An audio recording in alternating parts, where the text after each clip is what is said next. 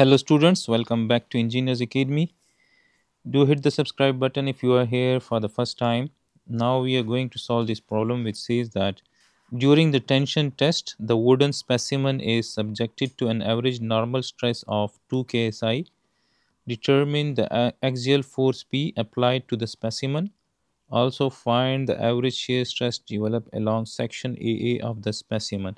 So here this is the section AA and if we look from this side then we will have the front view of the specimen like this. And section AA is somewhere here. So first of all uh, we are given the average normal stress right? So we can say that the average normal stress is equal to 2 ksi and this is subjected to the specimen right? So somewhere here we will have this average stress which will be applied on the exposed area here. So so this average stress will be equal to the normal force let's say n divided by the area of the specimen. So the area of the specimen will, will be somewhere here like this.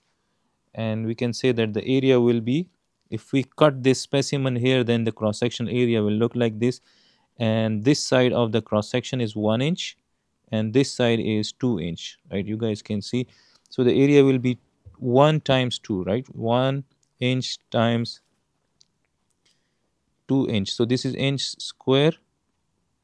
And here we will have the average normal stress is given. It is 2 ksi so 2 ksi means uh, 2 into 10 raised to the power 3 pound per inch square.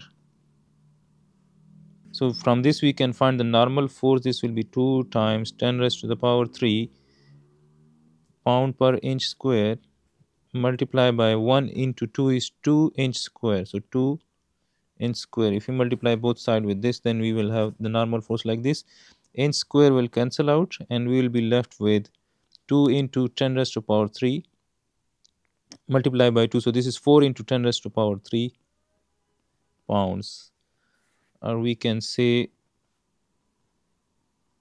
4 kips so now if we consider, since we want to find this force P, so for that we have to consider the forces and we have to consider the free body diagram. So let's say initially I consider this upper part of the mechanism. So we will have that force P here. So let's say this is that force P which is acting vertically upward. This is given in the problem. And as you guys can see that these two legs will apply the force on the specimen in the upward direction like this right? Here we will have these legs will apply the force on the specimen in the upward direction and as a reaction the specimen will apply the force in the downward direction. So let's say that these two forces are let's say these two uh, forces are f right? So f and f. So these two same f forces will be acting vertically upward here as well on the specimen so this is the same force which is applied on the specimen and as a reaction the specimen will apply the same force F in the downward direction on these two legs of this upper body of the mechanism. And similarly, uh, if we consider the downward part, this down part, then you guys can see that again these two legs will apply the force on the specimen in the downward direction because the specimen is in tension.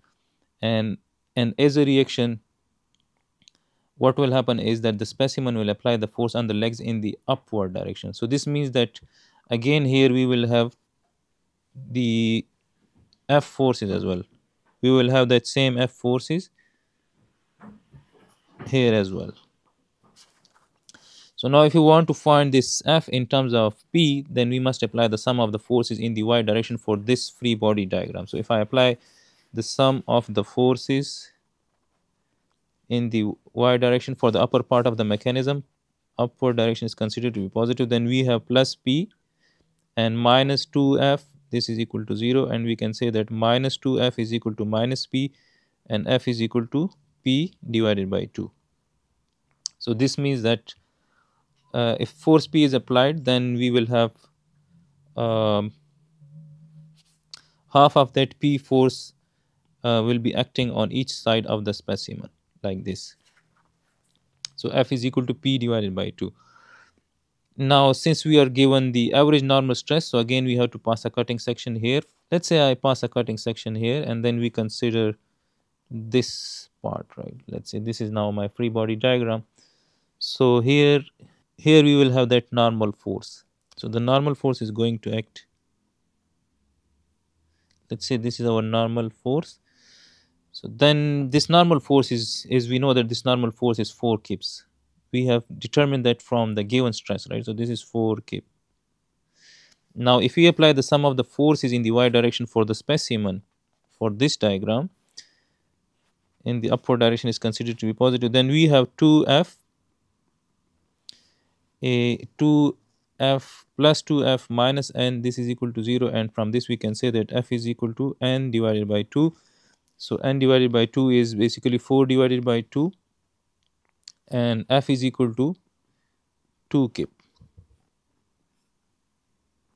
so now if if this f is equal to 2 kips then we can find that force p so force p is equal to 2 times f right? So from this from this diagram we can from this uh, equation we can say that p is equal to 2f or we can say that p is equal to 2 times 2 which is 4 kip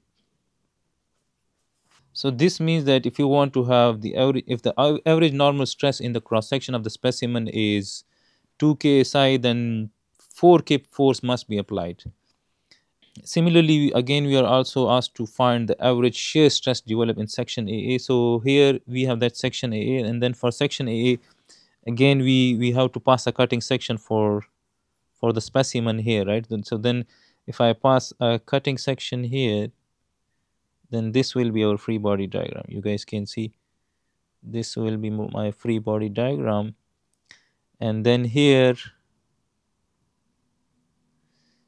here we will have the shear force, right? So if the force is going to act uh, apply in the upward direction, then the shear force is going to be in the downward direction. So let's say this is my shear force now, VAA, let's say. So then if we consider this free body diagram again, if we apply the sum of the forces in the y, this must be equals to 0. Upward direction is considered to be positive.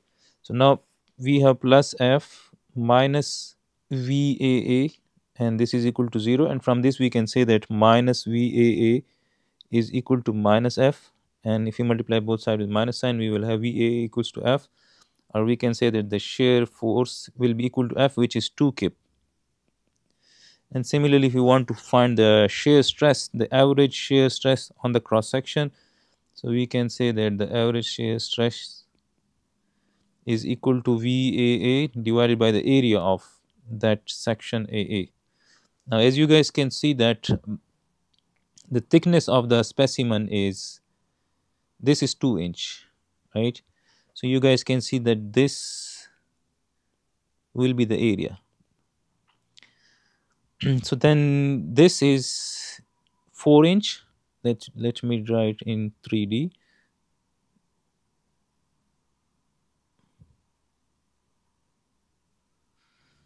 so then this will be the area right? And this height is 4 inch. This is 4 inch and this is the thickness which is 2 inch. So the area is 4 into 2 right? So we will write that VAA is 2 kip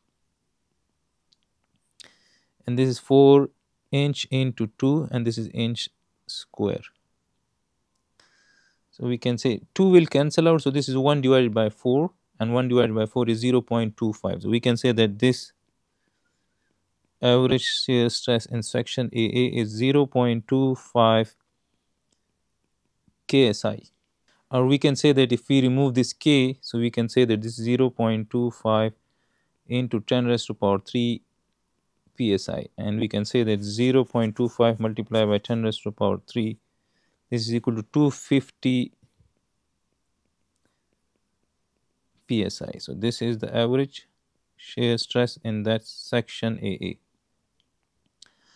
so this is the solution of this particular problem. I hope this will help you in your learning. Do subscribe Engineers Academy for the solution of such more problems from Mechanics of Materials by R.C. Hibbeler.